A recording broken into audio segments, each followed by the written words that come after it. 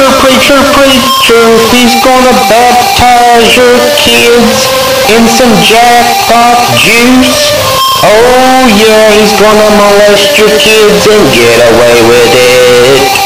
You gotta feel the power. You gotta feel the power. You gotta feel the power. And then the preacher's gonna say if a kid's gonna have to quit sinning, but you know what? He's out there molesting kids while he complains about sin and shit. There's no such thing as sin.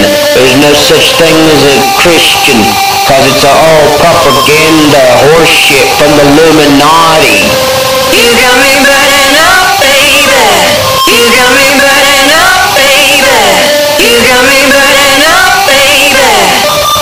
No such thing as God, cause it's all made up by the Illuminati, the power of the above to control the entire world for the one world order and the one world power.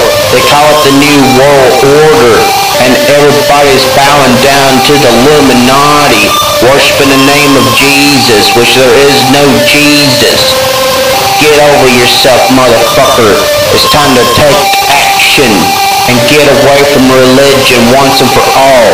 Ooh, ooh, ooh, yeah. Ooh, ooh, ooh, yeah. Ooh, ooh, ooh, yeah. Christianity was made by the government, and the Illuminati created the government to manipulate the people. And everybody's fucked no matter what they do or say. Everybody's gonna be poor no matter what they do or say.